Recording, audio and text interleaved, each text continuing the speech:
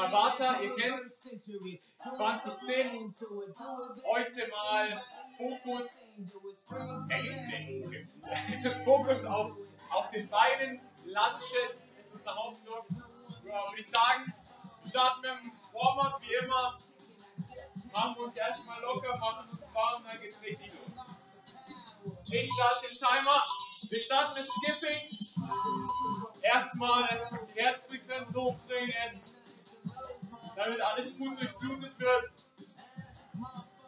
Ganz locker hier die Arme mitlaufen lassen. Circa 90 Grad.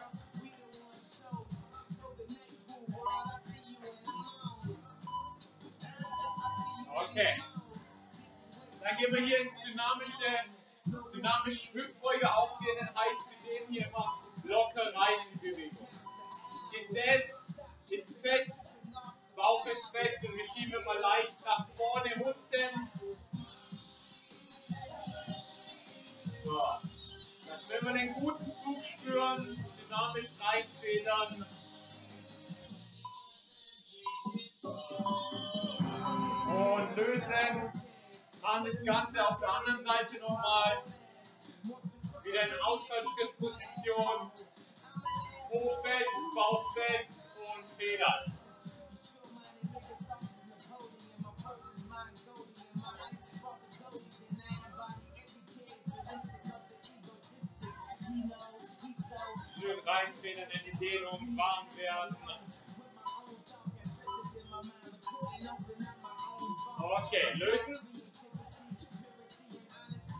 gehen wir hier lockeres Boxen und hier wieder leichten Skipping.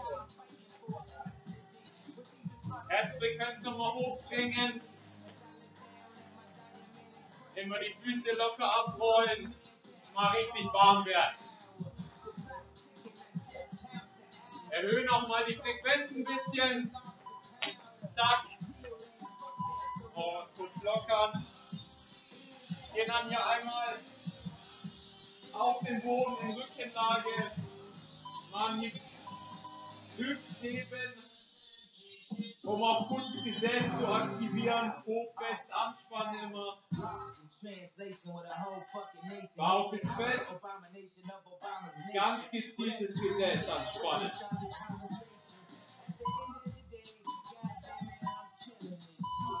Okay, und wieder Gehen wir hier einmal für den Walkout. Schulter schön stabil halten.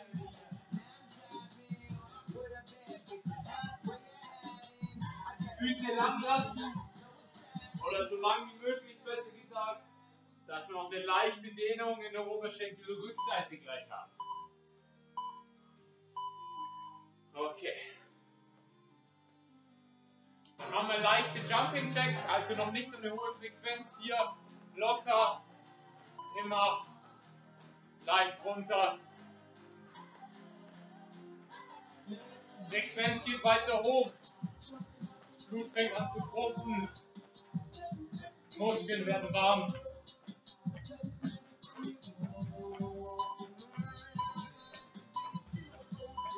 Okay. Hier haben wir noch eine Runde locker in den Squat. Erstmal noch nicht so tief. Vor 90 Grad. Und go. Druck auf der Ferse. Oberkörper aufrecht. Und bis kurz vor die Streckung nach oben. Dann haben wir unser Warm-up auch schon wieder geschafft für heute. Kurz auslockern.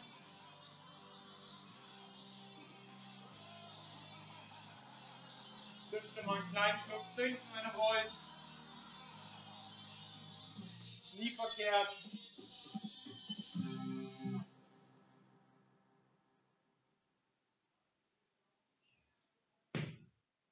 So. In unserem ersten Block, in unserem ersten Kraftblock, geht es erstmal um die anderen Körperregionen ein bisschen. Das heißt, wir fangen an mit dem Burpee. Ganz wichtig ist hier immer, dass wir, wenn wir in der Position stehen, den Bauch schön festmachen, hier dynamisch gesprungen oder die langsame Variante. Bei der Liegestütze darauf achten, dass die Ellenbogen schön eng bleiben. Und dann würde ich sagen, erster Block, let's go. Volle Power, schön dynamisch arbeiten. Und go. Und zur Decke hoch katapultieren.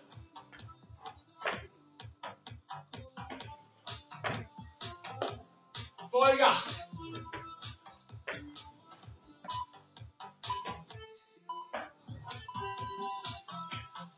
Okay, dann geht sie einmal in Bauchlage W und das T. Schön zusammenziehen. Beim W immer ganz fest zusammen, die Schulterblätter zusammenpressen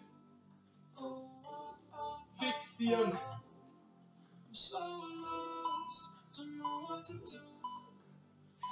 Bleiben gleich in der Position, gehen über zur Liegestütze, Hände gehen ein bisschen breiter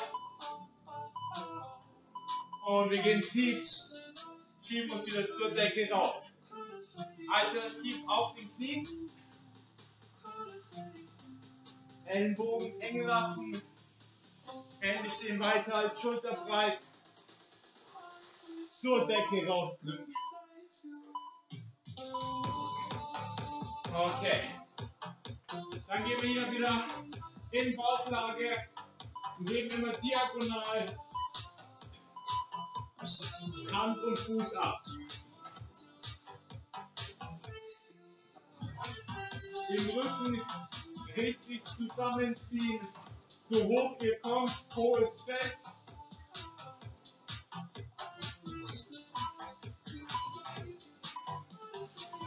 Okay, erste Hälfte geschafft. Burpee, zweite Runde. Volle Power. Und let's go. Explosiv bleiben, schön dynamisch.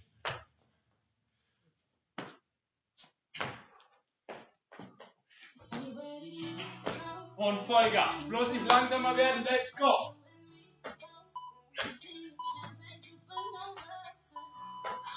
Und wieder in die Bauchlage. Schulterblätter wieder schön fixieren. Und B, C. Zieht euch richtig zusammen, macht euch fest. Kommt schon. Macht es sehr gut.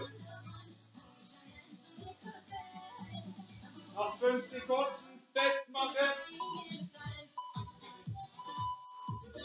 Wieder zur Liegestütze. Daumen sind auf Herzhöhe. Ab in den Stück.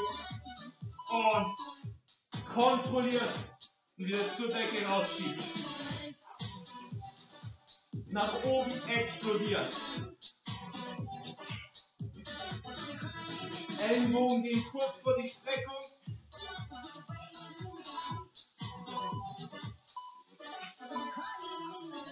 Und letzte Übung von dem ersten Block wieder diagonal zusammenziehen. Und festmachen.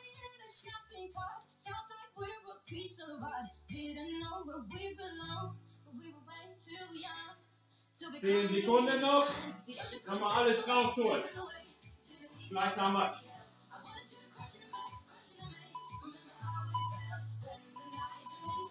Okay. Sehr schön. Erster Block geschafft. Wieder einen guten Schluck nehmen.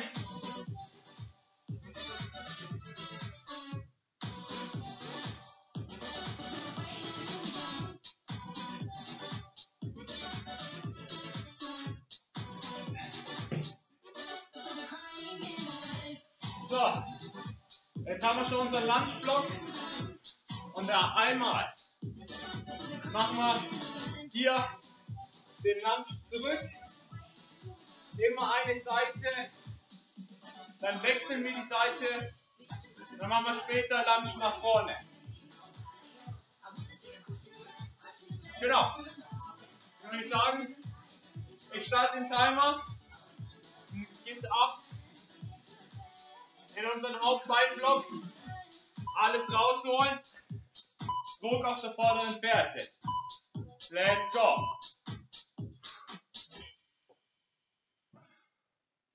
Schön stabil bleiben, Druck immer schön auf der vorderen Ferse halten.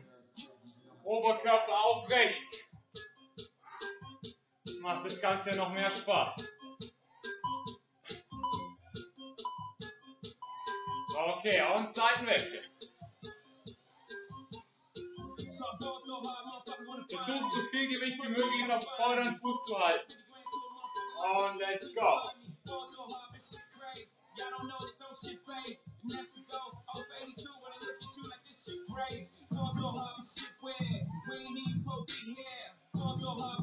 Also langsam kommt was an, die Beine sind da.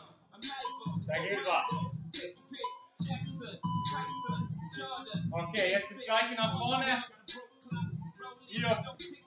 Und wieder zurückdrücken. Und go. Wer mag, kann die Hände die Hände in den Kopf nehmen. Dann ist es noch ein bisschen schwerer. Und wieder explosiv nach hinten rausdrücken. Und explodiert. Zack.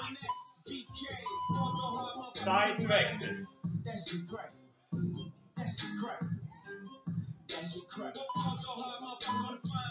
Erste Runde haben wir schon fast. Und let's go.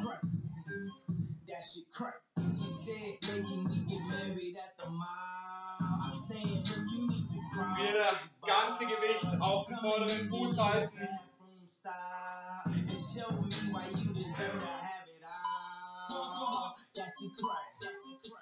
Und zweite Runde. Kurz auslockern, wieder zurück.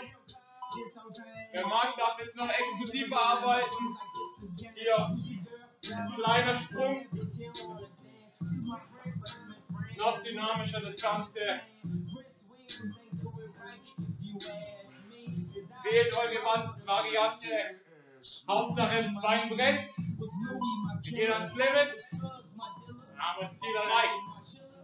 Seitenwechsel.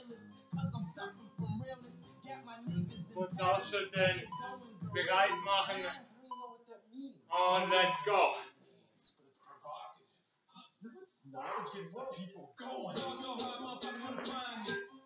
Volle Power, komm, nochmal reinhängen. Zack. Explodiert. Kontrolliert und explodiert.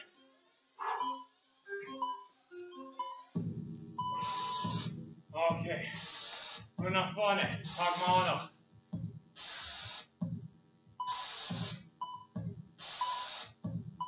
Und let's go.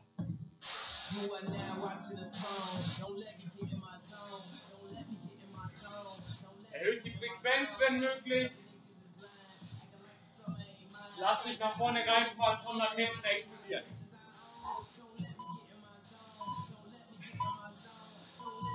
Und letzter Seitenwechsel.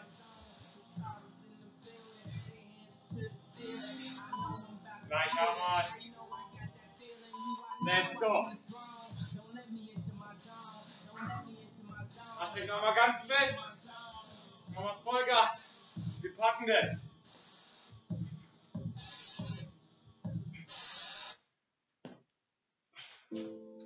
Bauch ist fest. Okay. Und geschafft. Kurz auslockern. Schluck trinken.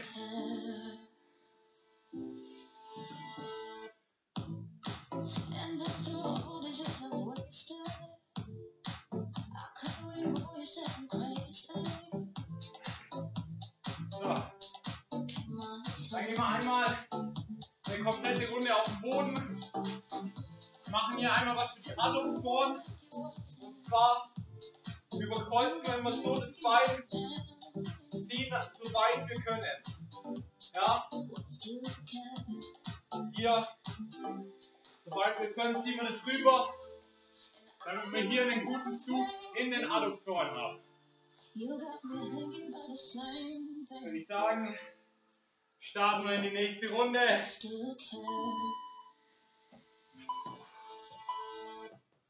Und let's go. Erstmal nur das rechte Bein.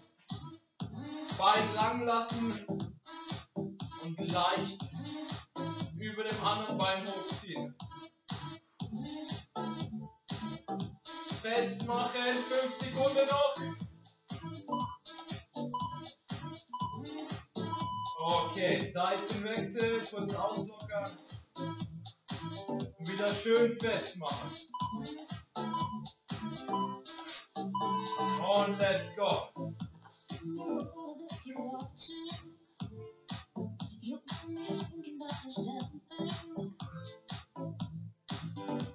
Soweit ihr könnt rüberziehen. Auch wenn es anstrengend wird, immer so weit es geht. Okay. Gehen wir hier einmal zum Hüftheben. Immer eine Seite, das andere Bein geht hier mit nach oben. Gerne auch gestreckt, dann ist es noch schwerer. Und schön festmachen. Von ganz unten bis ganz oben das Bein mitnehmen. Hüfte bleibt stabil. Okay, Seitenwechsel.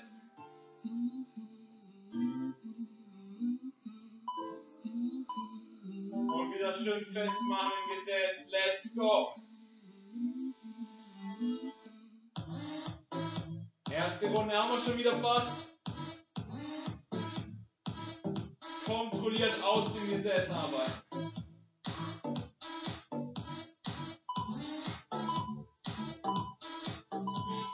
Okay.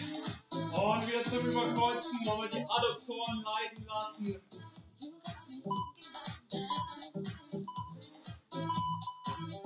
Und hier diagonal arbeiten. Also das Bein immer unter Spannung, könnt ihr gleich ein bisschen oben lassen, nicht ganz absetzen, immer in diesem Radius arbeiten. Okay, Seitenwechsel. Letztes Mal nochmal ganz fest. Und let's go.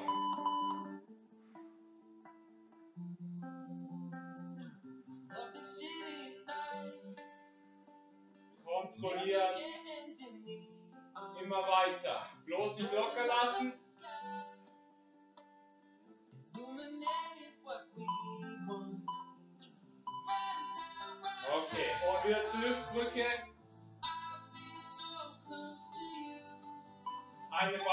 Stehen, das hebt wieder ab.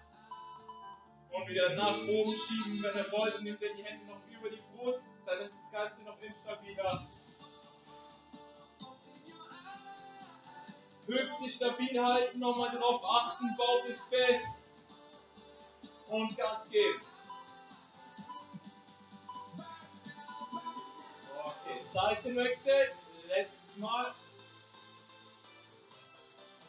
Nochmal ganz fest anspannen das Gesäß und let's go.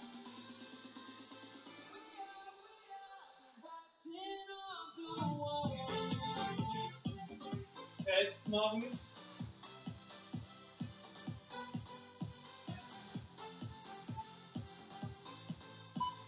Gleich haben wir's. Okay, und Löse. Eine weitere Runde geschafft. Sehr schön. Nehmen wieder einen guten Schluck.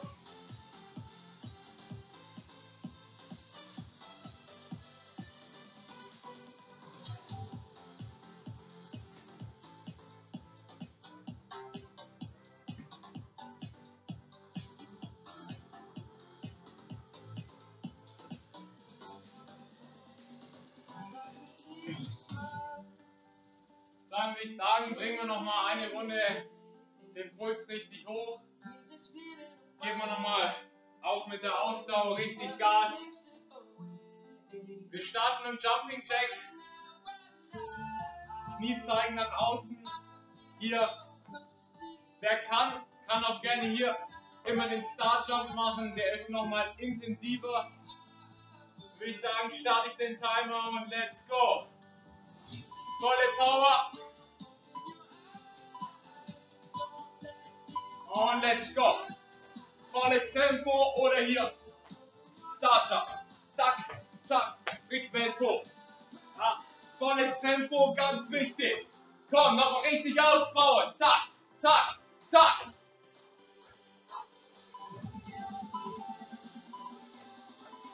Okay, dann gehen wir hier Mountain Sprinter ganz schnell. Rippenbogen zum Becken. Bauch fest und let's go.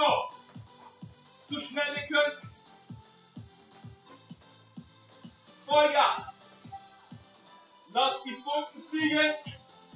10 Sekunden noch.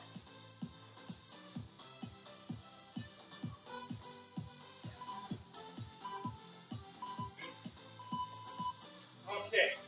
Dann hier Boxen mit Skippings ganz schnell.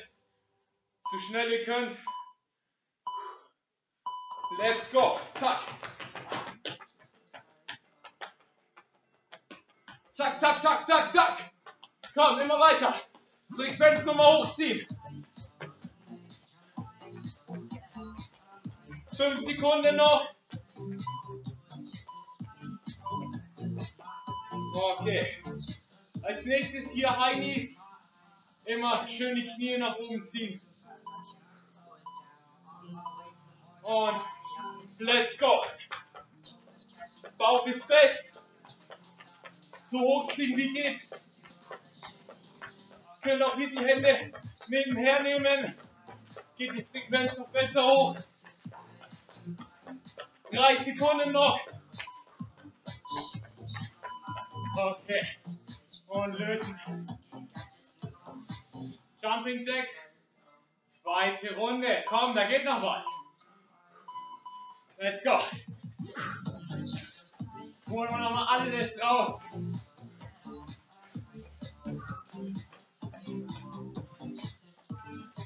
Einmal schneller. Fünf Sekunden noch.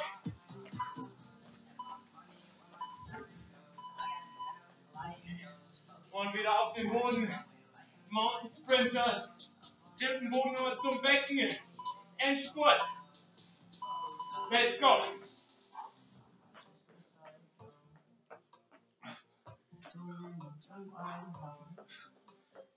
Zehn Sekunden noch, komm, zeig, was er drauf hat. Ihr packt es. Fünf, vier.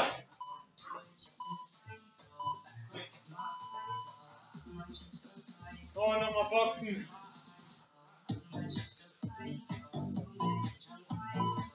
Volles Tempo. Let's go. Füße schnell. Hände noch schneller. Zack, zack, zack, zack, zack, zack, zack. Komm. Volle Power, volles Tempo. Immer weiter. Sekunden noch. Komm. Let's go. Okay. Kurz locker, nur noch einmal Heinis, dann haben wir es schon geschafft. Und Endspurt. Let's go. Zack, zack, zack, zack, zack. Und dann nimm die Hände mit.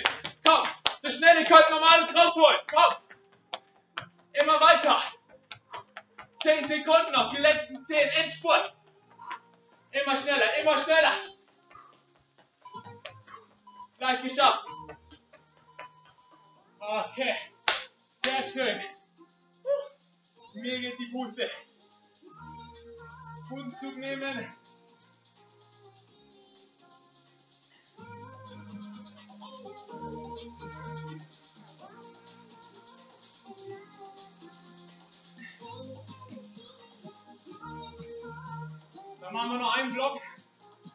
Ähm, bisschen Bauch, bisschen Cooldown auf der anderen Seite. Haben wir es geschafft für heute. Ich starte das letzte Mal für heute Abend den Timer. Geht nochmal in Rückenlage. Legen wir gleich mit dem Bauch los. Und zwar hier einmal mit dem Bein heben und dann leichtes Absenken und wieder nach oben kommen. Hände gerne neben dem Körper zum Stützen. Unser Rücken bleibt die ganze Zeit auf der Matte. Nehmt die Füße gebeugter, dann ist es leichter oder gestreckt, wenn ihr könnt. Okay. Dann einmal oben lassen und von links nach rechts. Hier und zur anderen Seite. Und let's go. Lassen wir den Bauch nochmal brennen zum Abschluss. Wenn wir noch die, die nicht beim dabei waren, was davon haben.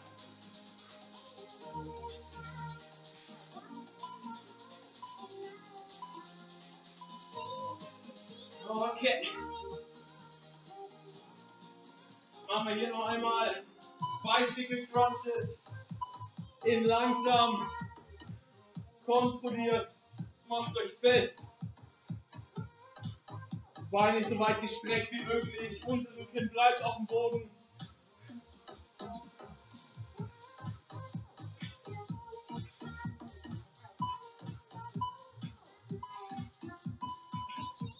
Okay. Dann machen wir hier ganz normale Crunches, entweder so oder Hände über den Kopf. Und let's go. Wenn ihr nicht mehr könnt, nehmt ihr die Hände nach vorne, zieht alles raus. Lasst den Bauch nur mal gut trennen.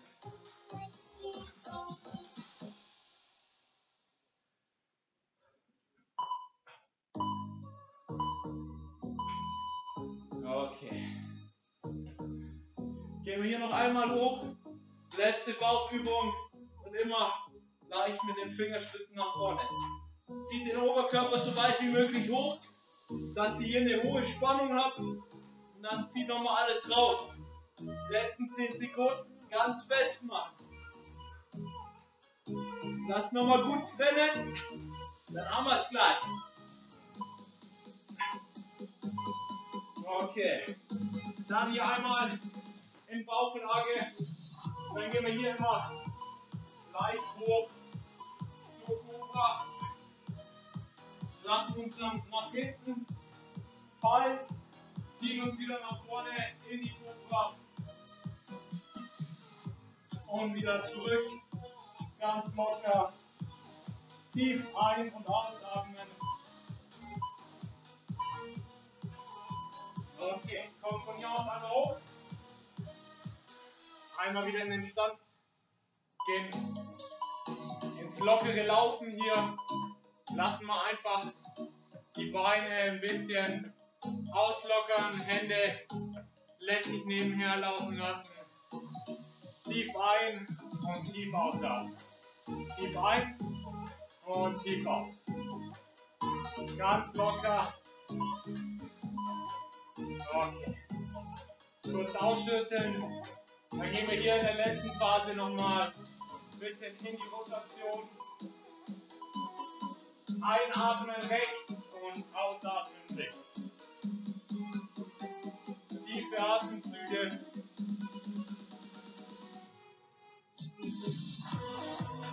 Wieder runterkommen, Puls runterbringen. Okay.